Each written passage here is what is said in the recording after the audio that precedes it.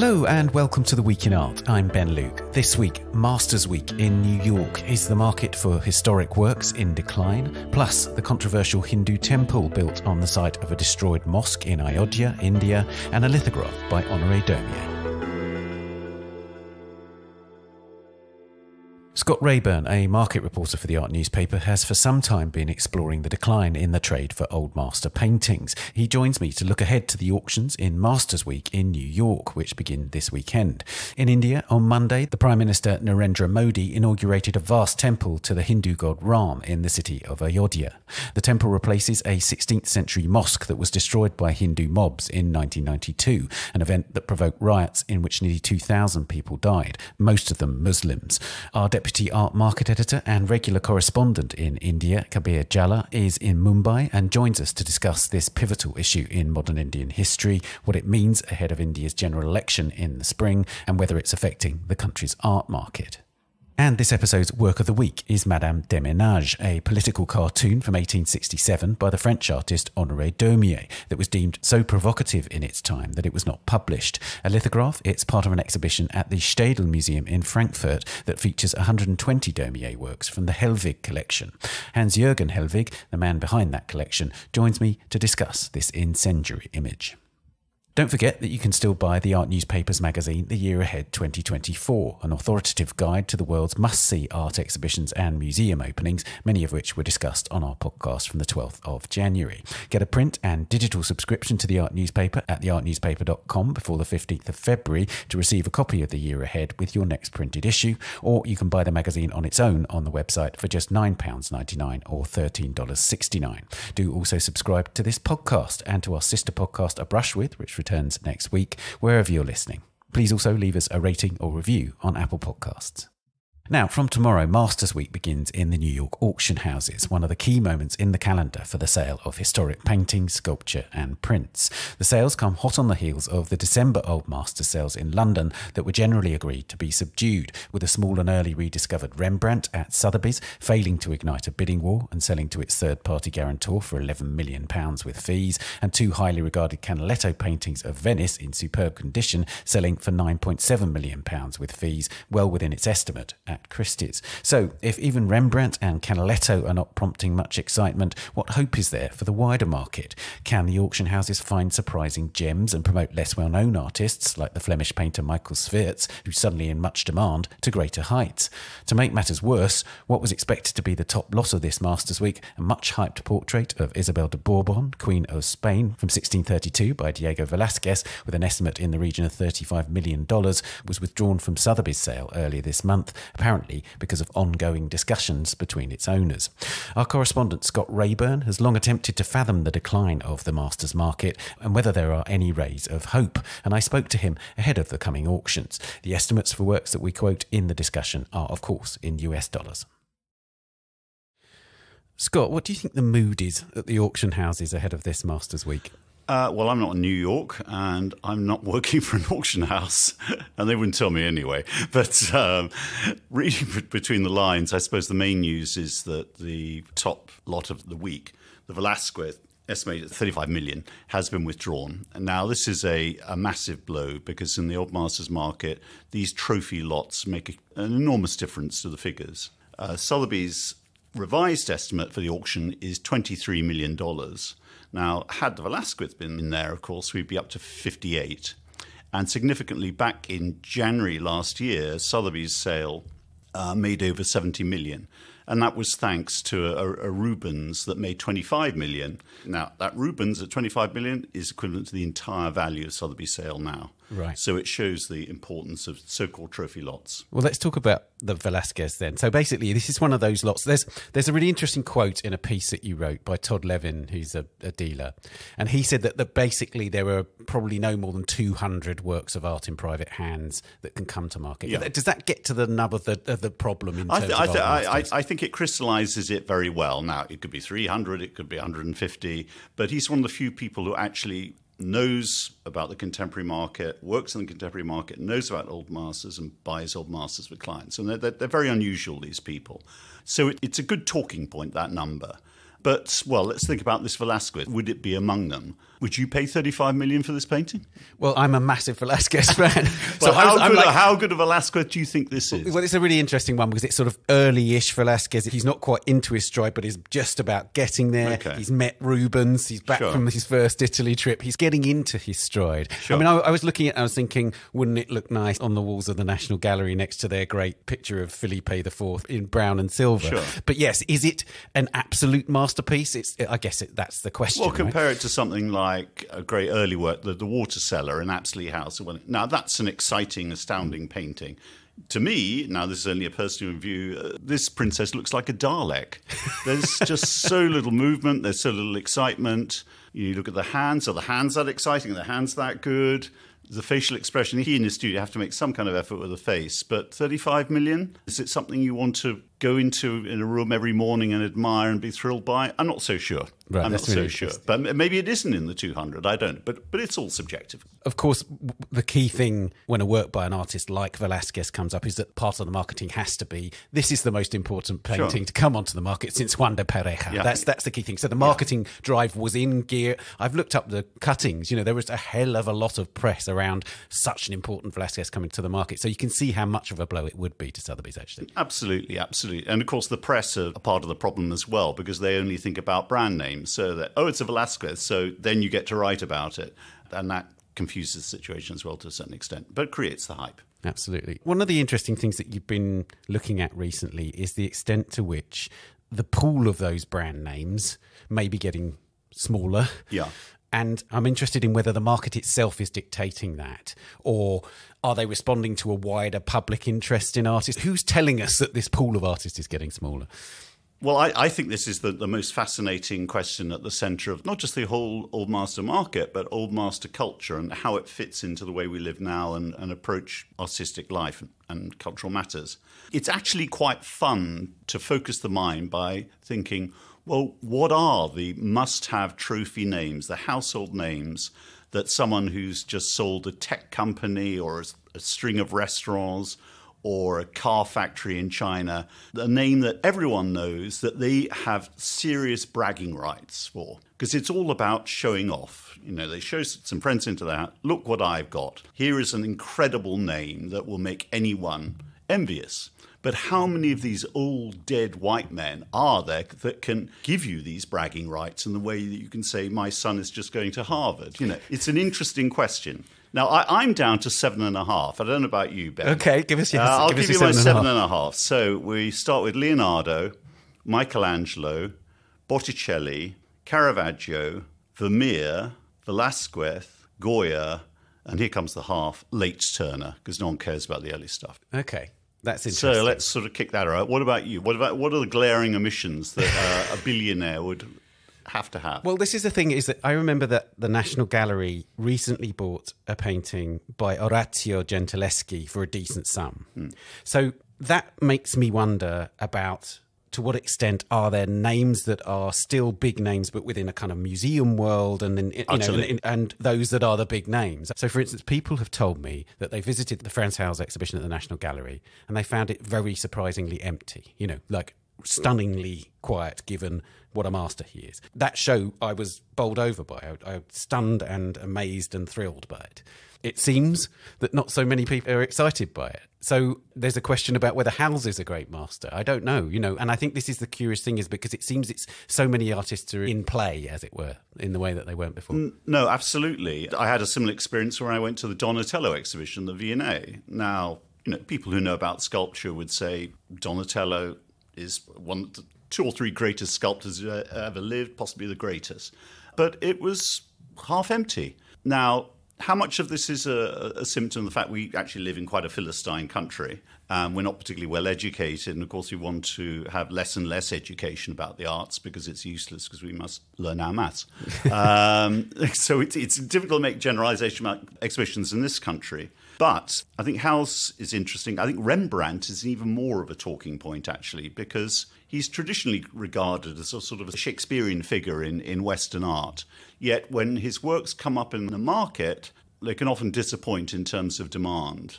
Now, I haven't got Rembrandt on that list. I don't actually think that a very rich person who's coming new to the art world would feel that excited by owning a Rembrandt. Now, that's a very shocking thing to say Yeah. if someone from the 19th century were listening to this podcast. They would say, What the hell are you talking about? You know, Kenneth Clark would get a shotgun out and kill me for that. but the fact is that his paintings are very brown. Attributionally, they're a nightmare, most of them. And his paintings of women, the women tend to look like Rembrandt. And there's very little decorative appeal to them. And, and I can understand why in our culture he has dropped off that must have list. But in terms of art historical reputation, it's, it's ridiculous. It's like saying, why bother ever to listen to Bach again? It's crazy. Right. Yeah, I agree with that. I mean, yes, Rembrandt is one of my probably top five artists ever, I'd say. Another name I would say is on that list hmm. Artemisia Gentileschi, because it seems to me that her star has risen. And, you know, that show at the National Gallery really, really propelled If it. If you were lucky more. enough to get to it. Indeed, yes. yeah, I wish I was. Absolutely. Well, there you go. But yeah, it seems to me that that brings up an interesting question, which of course is are the auction houses really in search of names that they can add to that list? Because we're talking about a, a list for collectors, aren't we? We're Sure. not talking about a list for scholars and museums and so on. So it seems to me that Artemisia is on it, but it does seem to me that, again, that the auction houses are in a real dilemma because they've got to find new work to bring to the market, but there's such a, a small pool for them to choose from. Utterly. There's a small pool of artists that are genuinely attractive to a, a wider audience. The majority of pictures that come up in old master sales are really pretty boring. There's no getting away. They're very unrelatable. Uh, they're dull religious subjects, dull genre subjects, dull decorative subjects. There's no getting away from that. So it's it's a massive problem for the auction houses how they're going to reinvent that. In addition, that their pool of buyers is pretty small. So when a work that is by a, a big name comes up, it's really important that they hype it to the heavens and get as high a price as possible because they are there to sell art. But Artemisia is a very good example now because she actually is sort of catnip in the market. Because if you go to TEFAF Maastricht, the American Museum curators are just running around the aisles. Do you have any women artists? That is what they really, really want. And so with Artemisia, if you get hold of an Artemisia and it's confirmed and authenticated by the right scholars, you can sell it very, very easily. And she's a really good artist. I think that was a transformative thing that show. Like Susanna and the Elders, which she painted Yeah. when 16. How many 16 year olds have painted a picture that good? Yeah, she, she's an astonishing Yeah. artist. Yeah. Really interestingly, you get these auction sales that make you sit up and take notice still within the Old Master sales. There was a sale in December which you wrote about. As you said, there was a small Rembrandt which had only recently been attributed to him at that stage. It's a, a, small early one. It is very dark and it was sort of very heavily promoted but got one bidder and that was the guarantor. There were then some Canalettos, which the leading scholar in Canaletto said were astonishing, extraordinary, the top of the top, and yet two bids. So that was surprising. And yet there was a Sweerts painting, an artist who by no means would get near that list that we would compile of the sort of great masters, and that did really well. So why did that do well? I don't I don't really understand if the market is struggling, why a painting like that would go for so much. Well, I was mystified by the lack of demand for the Rembrandt and for the Canaletto. But then I spoke to people. Now, with the Rembrandt, it wasn't universally accepted by scholars that this is a, Rembrandt. Now, this often happens when attribution upgrades happen, but I think doubts about the security of the attribution was an element there. Maybe not enough people believed in it. The Canaletto I found mystifying because that was the best of the best. The reason I was given for, for that pair of paintings that they didn't do well is they weren't big enough. Yeah. Thought they didn't have uh, wall power. They- You've got to have wall power, which again is is that comes from the world of contemporary art. You go around Frieze, you're surrounded by massive, colourful paintings, aren't you? And they're a lot bigger than those Canalettos. But Canaletto used to always finish major old master sales and do well until about 10, 15 years ago. And now he doesn't do so well. Is that the fact that very rich people don't go to Venice that much? And they go to St. Bart's more or the Seychelles? That might be a factor. Maybe they're just, well, they are in a sense, with one or two exceptions, just picture postcards as well. You know, the Stonemason's Yard, the National Gallery is, is the great exception, but they are picture postcards and they are to a certain degree, quite conventional. I know the, the detail is exquisite, but maybe to a contemporary sensibility, they're not quite exciting enough anymore. Right. And the Sweerts? Well, I remember going to Christie's and on my way to Christie's and people saying, Have you seen the Sweerts? Have you seen the Sweerts? Now, to be perfectly honest, I'd hardly ever heard of Sweerts, and I write about this stuff. well, maybe I shouldn't. So I went along, and just so many people were clustered around this painting. And the thing about it was, it was an extraordinary composition for a start because, because you had this 17th century uh, Flemish artist in his Roman studio, which is an interesting situation in itself, with a model, very attractive, elaborately dressed model, uh, sewing, and then a young man admiring the model next to a pile of classical sculptures and plasters. A tremendously evocative image of life in a studio in, in Rome during that period in the 17th century. And then in the distance, almost like in Las Meninas, there was a, a figure in a doorway. So there was lots going on. It had tremendous atmosphere. The other thing was very unusually, it had been completely untouched since the 17th century. Now, this is virtually unheard of in the old master trade where pictures are restored and mucked around. And so people were looking at it with UV lights and various instruments and just admiring the utter, utter perfection of it. And Christie's very sensibly didn't touch it either. The fun story about it also is that apparently it was in a in a house in France, and the person who owned the picture was approached by a, a dealer, someone who in England would be called a knocker, basically, and had heard about the picture and said, "Well, I'll give you ten grand for this painting." And then a week later, he came back and said, "Well, actually, actually, I'll give you a hundred grand for this painting." At which point, the owner started to get a bit suspicious, and the reason that happened is because in France, if you're discovered that you've made a huge markup on an antique or a work of art, that, that is actually illegal in France. But fascinatingly, the owner's son plays squash, and he went for a game of squash. And he started to talk about this painting with a guy he was playing with, and his squash partner worked for Christie's. so that's how it ended up in Christie's. What a word. What a story. Um, so that's an example of a, of a work that surprises us. Absolutely. And that's what this market needs. It needs surprises Absolutely. all the time. It's and it Absolutely. finds them really hard. You've seen the lot lists for the for the yeah. auctions coming up in New York. Any surprises? Anything that might grab our attention? Well, the, the, first thing to say is that the estimates are very similar. It's 23 million at Sotheby's and 24 million at Christie's, which is relatively low. The problem is supply, getting exciting pictures, getting big name pictures. The loss of the Velasquez is, is, is really important because, of course, that takes a sort of headline news making lot out of the series. There are interesting paintings there, but they're lower down the price range. And of course, the media doesn't really get very excited about it. But there is an Artemisia at Christie's. Now, I, I looked at this, I looked at the cataloguing, and often auction houses can be uh, a little bit too quick on the trigger with reattributions and upgrades. But this has been authenticated or ratified, rather, by three leading Artemisia experts. It's uh, St. John in the Wilderness, it was a sleeper in a sale in Italy where it was uh, catalogued as Neapolitan school, and it seems to be a okay. And it's uh, estimated four hundred thousand dollars, which doesn't seem to me excessive, hmm. and so that should do well. It's a relatively low price for her it paintings is. in it, recent years. right? Absolutely, absolutely. So that hopefully for the sake of the market and the mood, that should fly. There's also, again, at Christie's, there's another interesting painting by a woman artist a French artist called Anne Valeria Costa, who, again, I, I, didn't really know much about. It's actually a very beautiful still life of musical instruments on a ledge. This is a late 18th century painting. She's described by Christie's as the second most important still life painter in France after Chardin. I don't know, that might be hyping her talent a little bit, but it's an exquisite painting. And interestingly, in the last couple of years, two of her paintings have made over a million.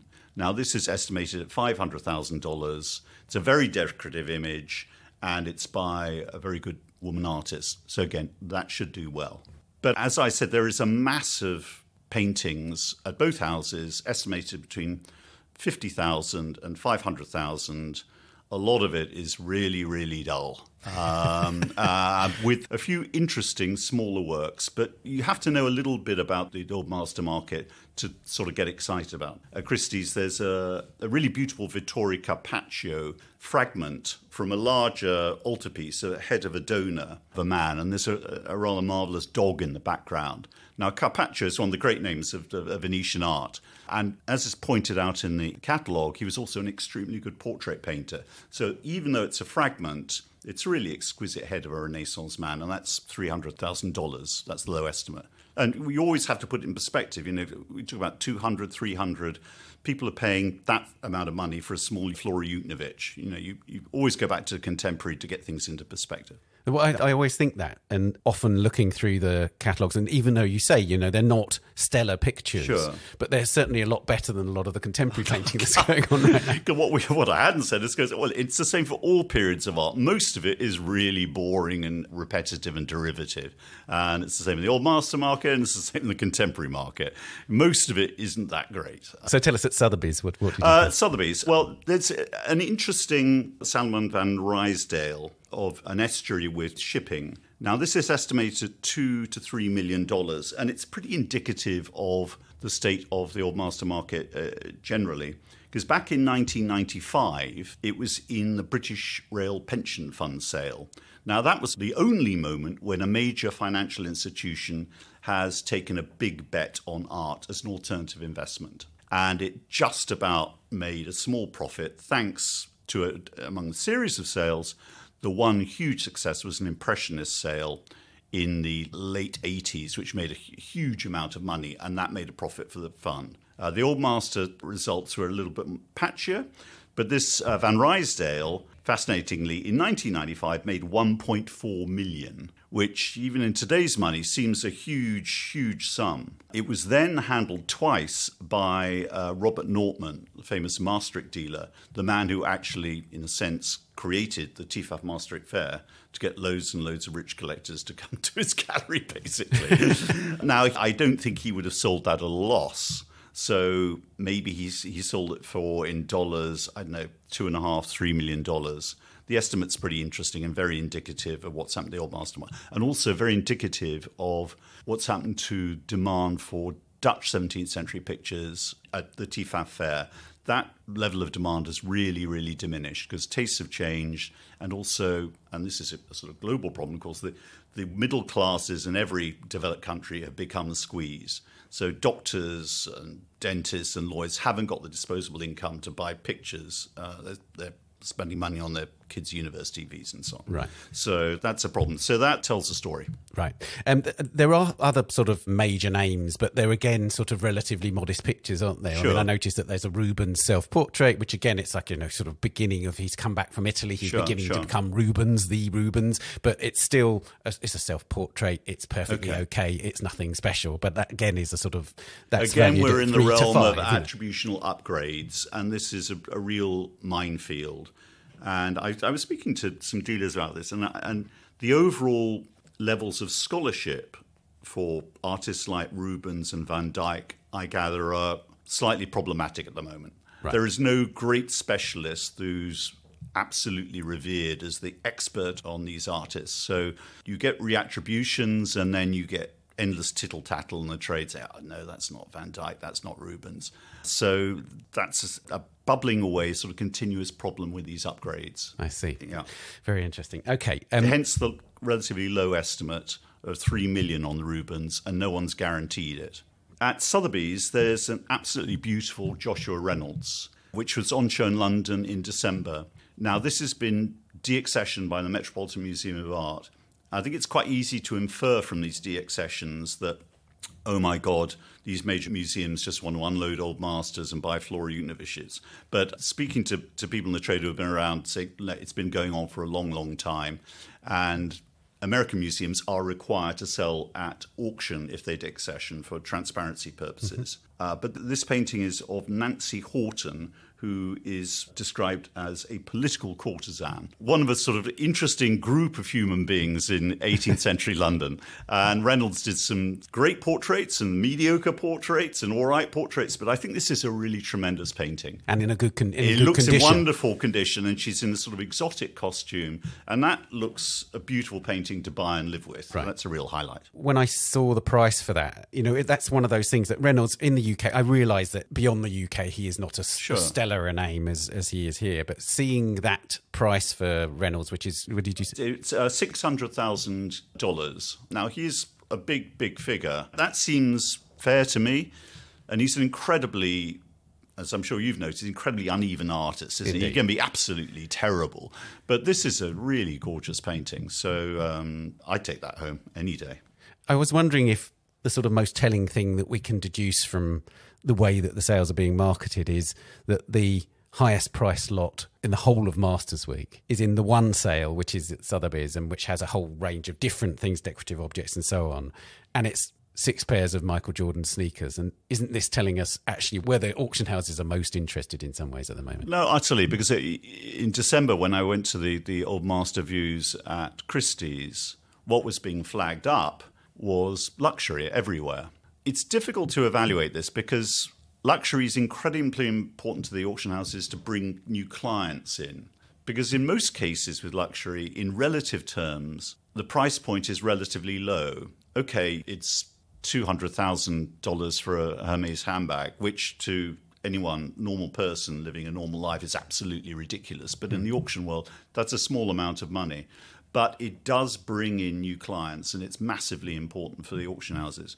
And the actual number, as I checked with Christie's at their end of year conference, the actual percentage of sales in terms of money that luxury generates is fairly sort of steady and static. It's not overtaking the whole shebang. It's about Christie's. I think it was about fourteen percent last year, but it's fascinating when you go to the website. The first thing you're hit with hard is luxury. You have to press a button or two to go through to all masters, which of course is inconceivable back in the day. Exactly. And so, lastly, I guess it's it's interesting what you say about luxury being the kind of entry point for new collectors. Do you think they would be attempting to steer people towards the old masters through that relationship, if you like, or is is that too many stages Well, they, they, beyond? they tried it with Victoria Beckham about three or four years ago. I don't know to what extent that worked. There is an example of how the market can be changed quite radically through rebranding, which is the, in the realm of prints. About four or five years ago,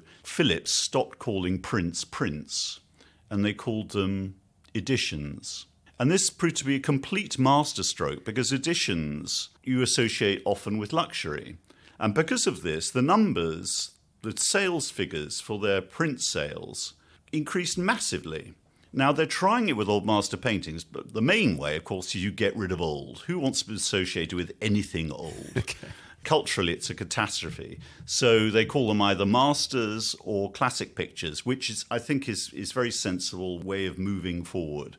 But it does need at so many different levels reinventing this market. The other problem is that if you go into any old master gallery or you go to TFAF, the way that it's presented and the pictures are on dark walls.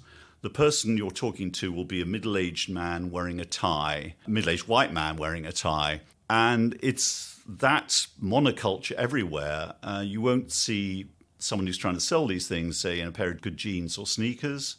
They really need different sorts of people presenting these works. Then they stand a better chance of getting a different kind of public coming in. Scott, thank you so much for guiding us through this extraordinary territory. A pleasure.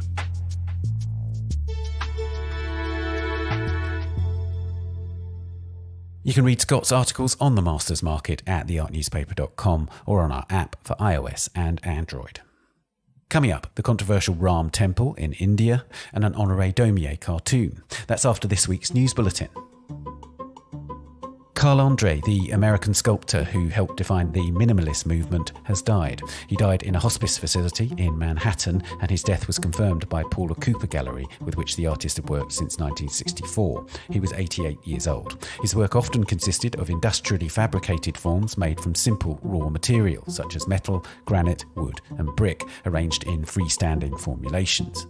Since the mid 1980s, Andre's legacy as an artist has been complicated by accusations that he killed his wife, the artist artist Ana Mendieta, who fell to her death from the window of their 34th floor apartment in Greenwich Village in New York in 1985. Andre denied the accusations, insisting that Mendieta's death was either an accident or a suicide. In 1988, he was tried and acquitted on a charge of second degree murder. Subsequent exhibitions of his work have often been met by protesters who've criticised galleries and institutions for failing to acknowledge his involvement with Mendieta. An artist who was one of the re-performers participating in Marina Abramović's 2010 retrospective at the Museum of Modern Art, or MoMA, in New York, is suing the museum. John Bonafede claims MoMA is liable for seven incidents of sexual assault he allegedly experienced while performing there. According to his complaint, filed on Monday in New York State Supreme Court, the alleged incidents all took place while he was re-performing in Ponderabilia, a piece originally performed by Abramović with her partner Ulay that involves a male and female performer standing nude on either side of a narrow doorway through which visitors are encouraged to pass. Bonafede says he was sexually assaulted seven times by five different visitors while performing the work.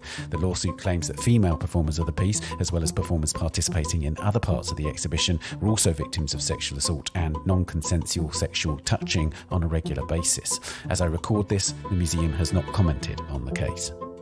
Two of the UK's leading national museums have signed a loan agreement with Ghana to return gold regalia that was looted during military operations in the 19th century. The British Museum and the Victoria and Albert Museum have made the arrangements with the Manhyia Palace Museum in Kumasi, the capital of what was then the Ashanti Empire.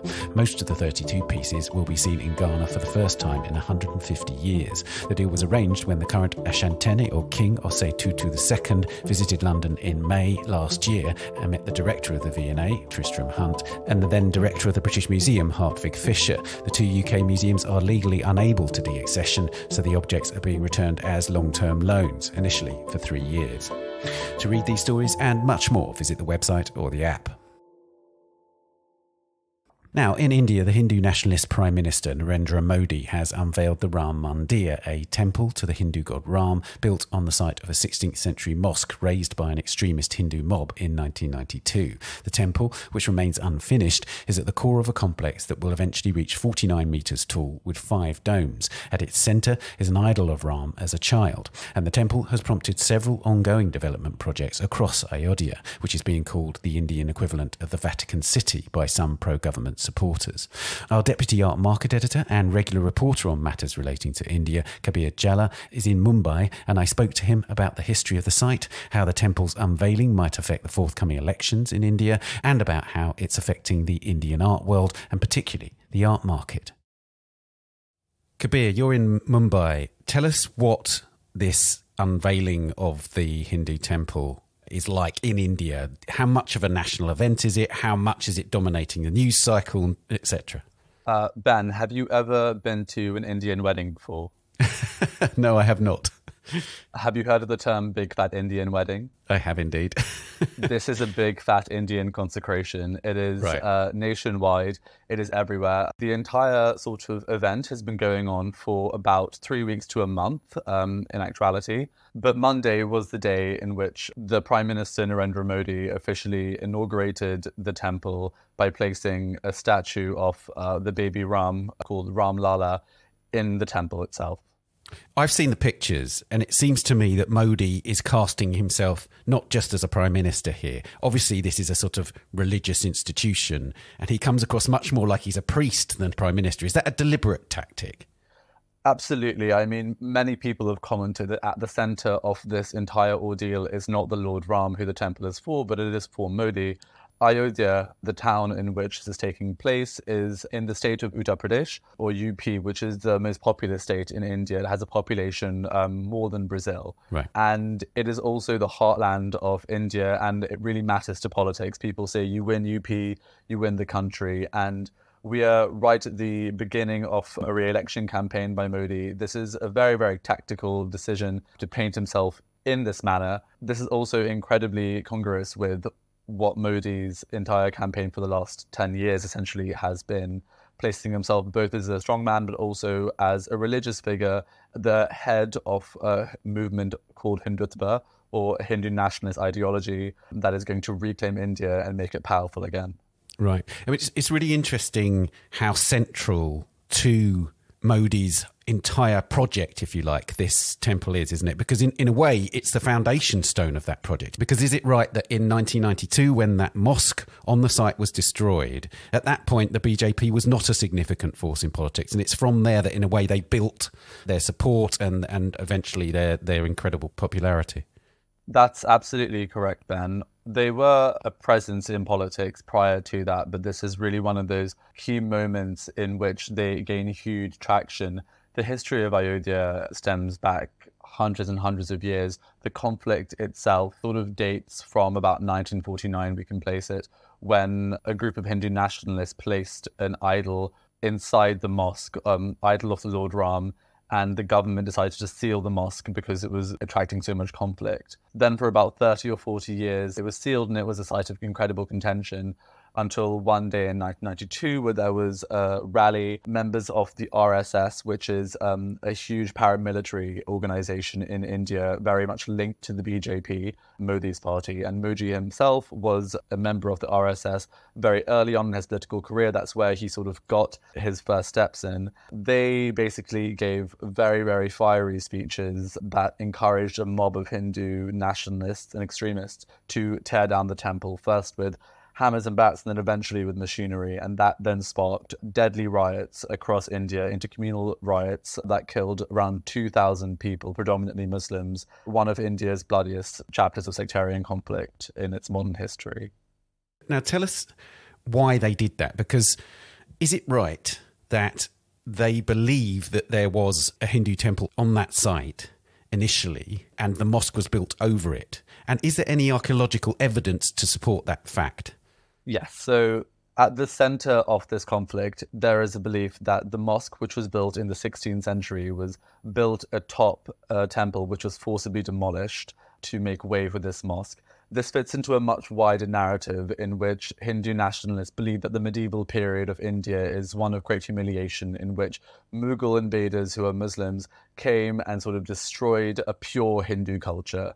So therefore, there have been claims for at least 200 years that the the ruler Babur, which is where the mosque named Babri Masjid gets its name from, came and basically conquered the land. And this is a very, very holy site. And of course, the fact that there was a temple there is all the more important because this town, Ayodhya, is one of the holiest sites in Hinduism because according to this ancient text, the Ramayana, this is where the Lord Ram was born. Now, we'll get onto the fact that this is an ancient religious text in a second because it is being used as historical fact. But as a result, this has been a very, very contentious site. In 2003, there was an archaeological study done that basically found evidence of a structure beneath the mosque that the Archaeological Survey of India says is suggestive of some temple structures this has been roundly criticized and pushed back by other leading archaeologists, including people that have written for the Art newspaper, and we've even had on the podcast before.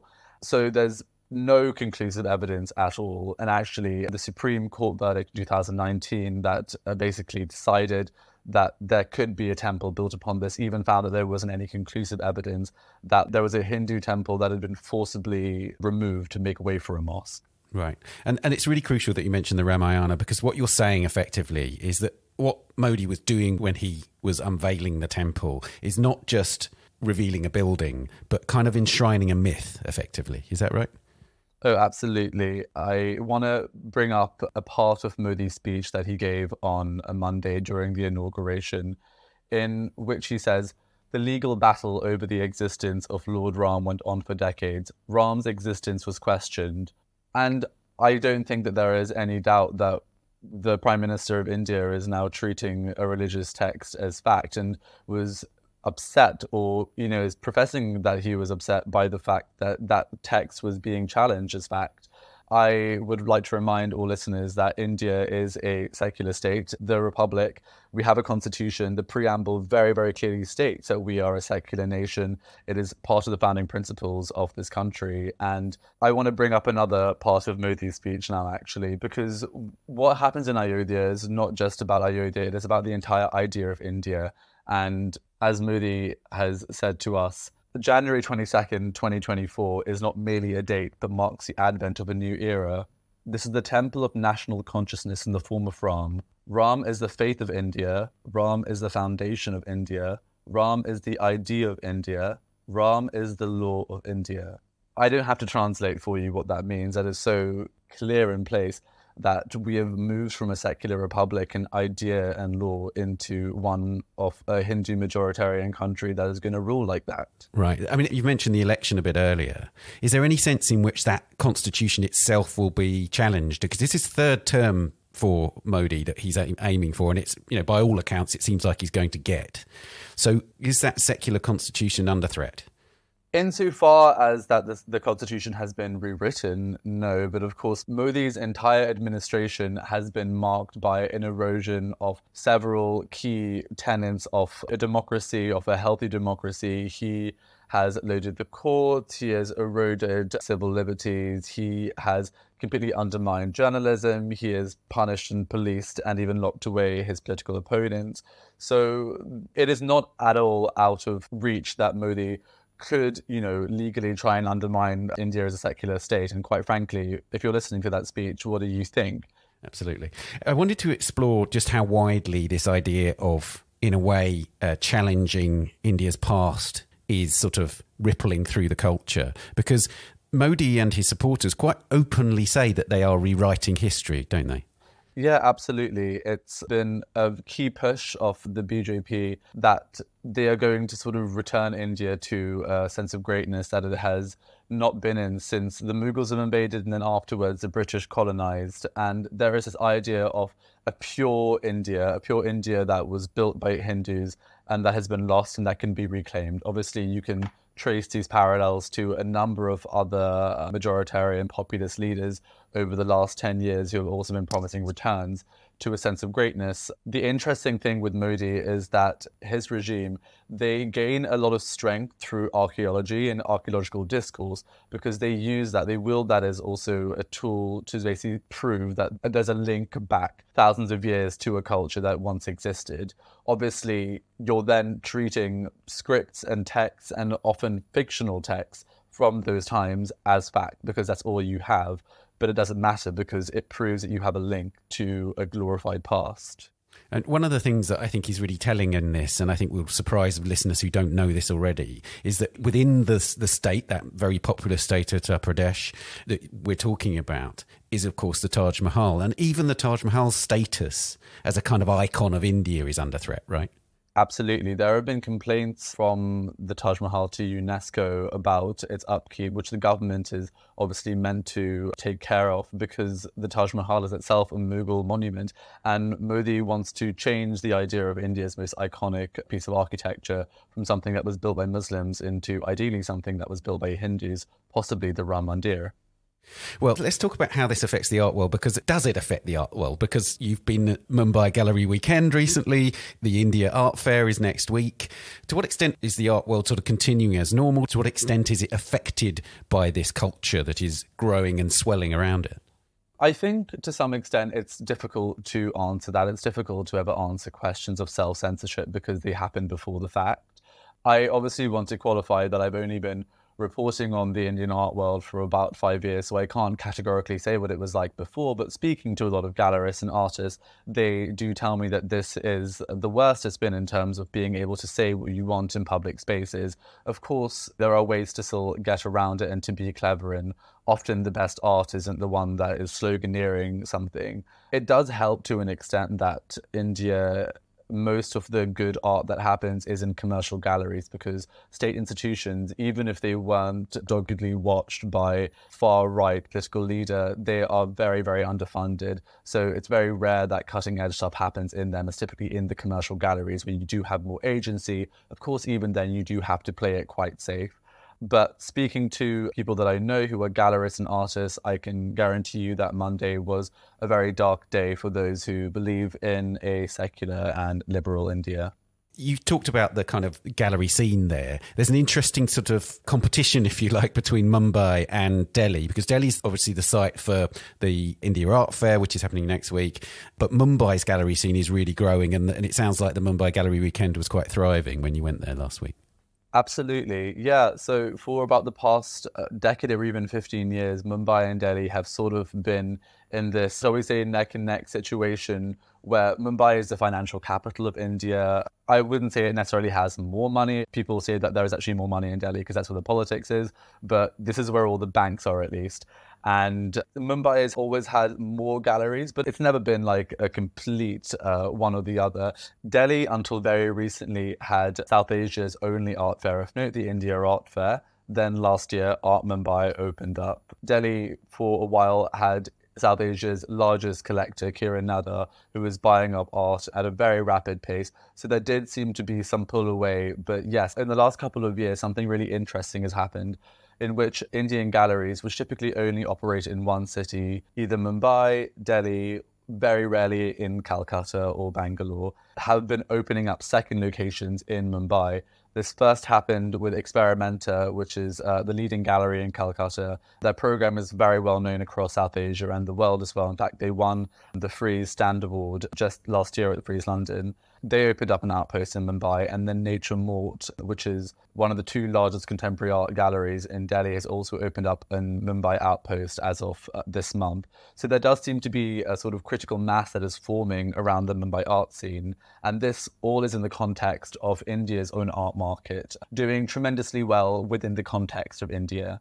That's right. There's been all sorts of auction records tumbling left, right, and centre. Yeah, absolutely. Every six months, the record breaks once again. At the moment, it's been held by Amrita Sher-Gil's The Storyteller, which I think made 7.6 million at auction. It typically is either an Amrita Sher-Gil, who was Hungarian Indian modernist painter, or one of the Bombay Progressives, which are a sort of abstractionist group from the 50s and 60s and it goes between them typically. The turnover of the Indian art market of the financial year 23 got to 144 million, which is the highest ever, and that was a 9% increase on last year, which is again a record year. So the market is increasing, and this is in a wider context of uh, India's own economic growth, which is going gangbusters, as Peter Nagy of Nature Morte described it to me last week. and it is true. Um, the UN's latest report has projected that India is going to be the fastest growing economy of this year. I think growth is around 6.2%, which is you know, higher than, they said, any other economy. And this is also important because key other global markets, those of the EU, UK, China, are seeing slowdowns and stagnation for a variety of reasons. And so people are looking to India as a next place to invest and take notice of. And that is only going to have a trickle down effect on the art market. There are a couple of questions that come to me from hearing you say that. And one is you've mentioned the kind of modernist artists doing well. At the start of this century, there was a big groundswell of international interest in contemporary art from India. There were big group shows, lots of those artists began showing quite internationally and broadly. To what extent is the kind of interest in contemporary art sort of keeping parallel with that interest in modernism? And then also, is it that healthy really that we're talking so much about contemporary galleries in terms of you know are there any institutions that are also doing compelling programming and sort of leading the discussion if you like? Both great questions ben. So yeah to the first one you're absolutely right. There has always been a sort of chasm between the moderns and the contemporary in india and you're seeing it right now even today. In fact in the financial year 23 contemporary art auctions actually fell by 9% even though the entire field rose. Although I should say that contemporary art auctions across the world decreased. So you can sort of make parallels with other markets. That being said, yeah, India experienced a huge boom and bust in the early 2000s. And as a result, contemporary art really did take a big hit, and it's taken a while to get back up to scratch. I would say, speaking to gallerists, that primary work is selling really, really well the gallerists have done a pretty good job in learning from the mistake of the last boom and bust, which is to really focus on domestic collectors, to not raise prices too quickly, and to, I guess, focus on programs rather than focus on the heat of the market. This is now changing a little bit. I do notice prices getting a little bit too high, and I wonder if we're due a slight correction like we're seeing across the world right now. Mm-hmm. And then, in terms of this idea of you know contemporary commercial spaces being the kind of leaders of this interest in terms of Indian art, is that is that healthy? And are there museums? Well, I mean, that question is a difficult one because to be blunt, no, it isn't necessarily healthy, but also what other option have we really had until very recently?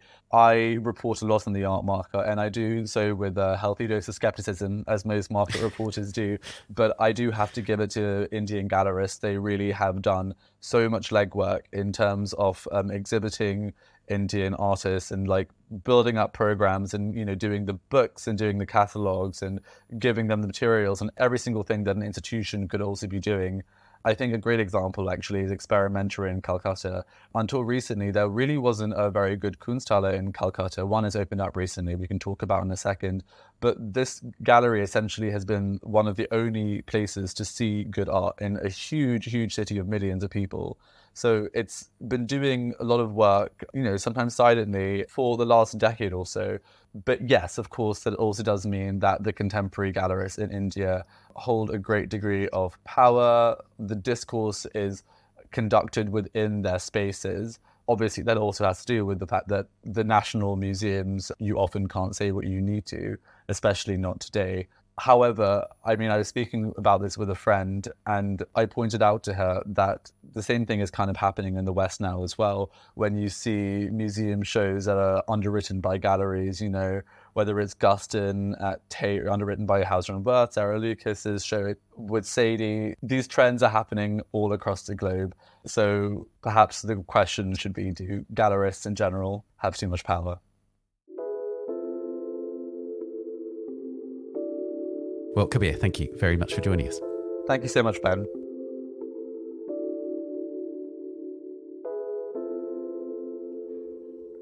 You can read more on this story on the website or the app.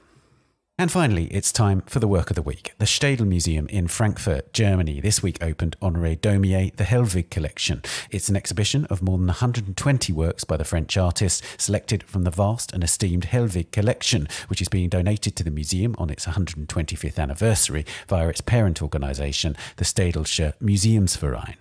The donor behind the collection is Hans Jürgen Hellwig, and he's chosen to discuss Daumier's unpublished lithograph from 1867, Madame déménage. You can find an image of the work on our Instagram and in the web story for this episode.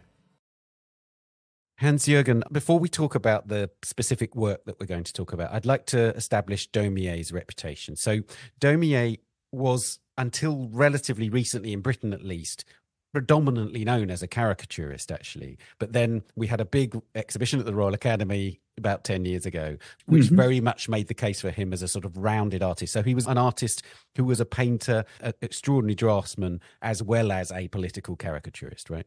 Well, I'm very happy to hear what you just said. And you know why? Because I was the major lender to the exhibition at uh-huh. the Royal Academy. And I've been at the exhibition for several days. And I had uh, two visits of the curators uh, from the Royal Academy. They had retained a Daumier expert from the United States. She's also visited with me. I'm very, very happy to hear that um, this exhibition has carried out a kind of a breakthrough for Daumier's reputation in Great Britain. Of course, in his own lifetime, there were artists like Delacroix who were responding to him, and then later Manet, Degas, and others. He was an artist's artist, even though, you know, we're only now at this point really grappling with the breadth of his achievement. Yeah, I think there's only one explanation for it, maybe two. The first one is a simple one, namely differences in age. And the second one has to do with the areas in which these artists have been active. Delacroix was drawing and painting, the other ones as well. Daumier started his life as an artist with lithographs. Now, lithographs, that was a new technological method, well received, tremendously successful in the market, but it probably never achieved the same level of art recognition as the other sectors of creating art. That's fascinating. And that's why Daumier was always suffering from the image of, well, this was um, a minor art. It was not really the full art. Now, the question is why people were thinking so because it was on newspapers and because there were many copies made. If it's a painting, you have one version only, it's one piece, no more. So the singularity that's strange enough. The singularity makes the value, yeah. the artificial value. The market value, I understand, but the artificial value, to base that on how many issues are running around, it's a little bit counter the spirit of art. And Daumier was suffering under that. Now, tell us, lithography is actually a really difficult art. I've seen doing printmaking and trying to get the lithography right. One of the great achievements, it seems to me, of Daumier is the lightness of touch that he achieves with lithography, the extreme poetry, if you like, of his line. Mm-hmm. He's just such a master at lithography. Well, that's true. And that really is outstanding with him. Daumier is a master in the creation of different shades between white and black. And in doing so, he has the ability to give a bidimensional drawing the impression of three dimensions. And that is fabulous. That is absolutely fabulous. And the other artists engaged in lithography simply were not good as Daumier. The image that we're going to talk about now is a case in point because he manages to conjure up such a wealth of materials and action and this sort of amazing lightness of touch on the one hand and the heaviness at other. So tell us about the image that we're looking at when we're discussing this aspect, I think we ought to go back to his education as an artist. He was given some lessons in drawing by a friend of his father, but most of what he learned, he learned by himself by making copies of paintings in the Louvre.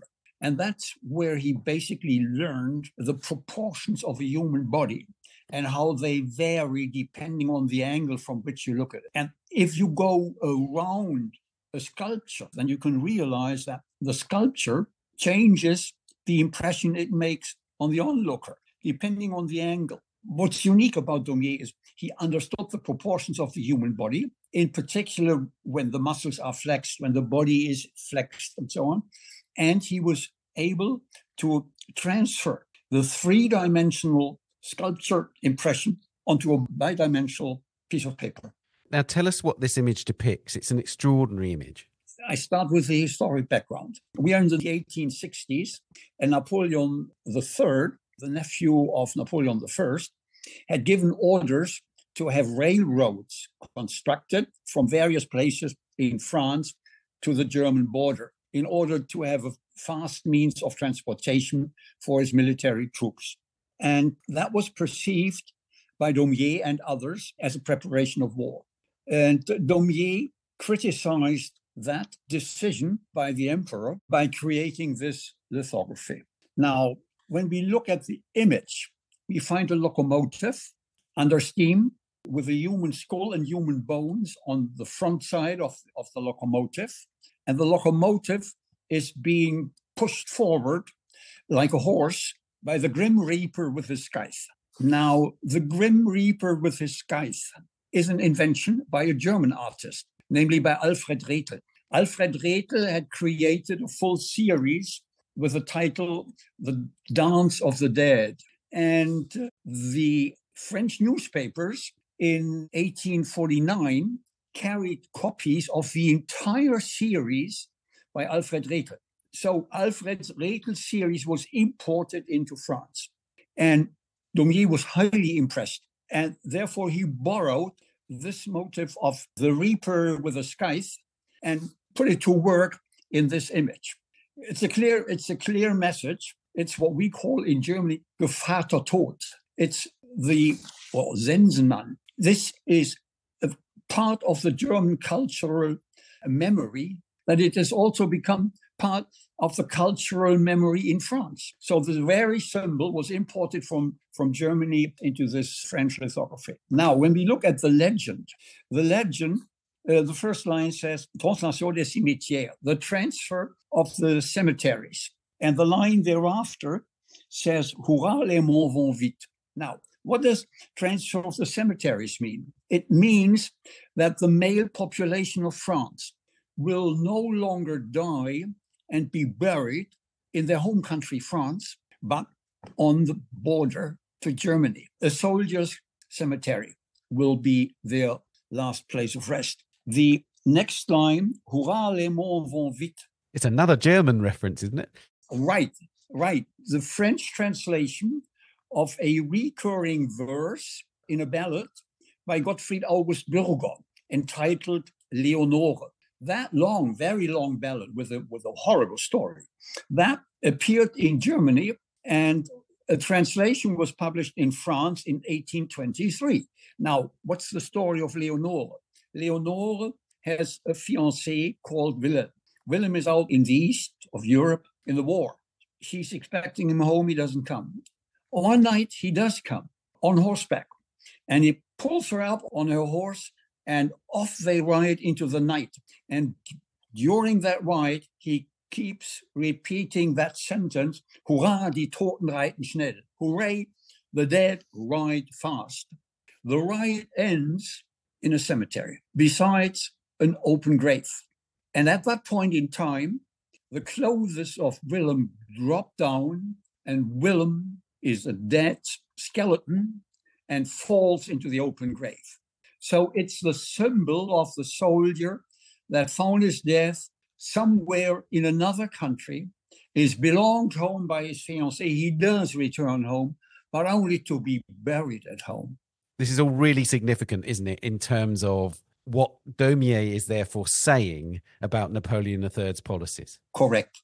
Absolutely correct. The interesting thing then is this version was rejected, and another legend was tried out Voyageur pour l'éternité, the travelers into eternity was not accepted either. And then Madame déménage, which means death changes domicile or changes place. Yeah, Madame because it's, it's in French it's, it's female, it's uh, it's feminine, it's la mort.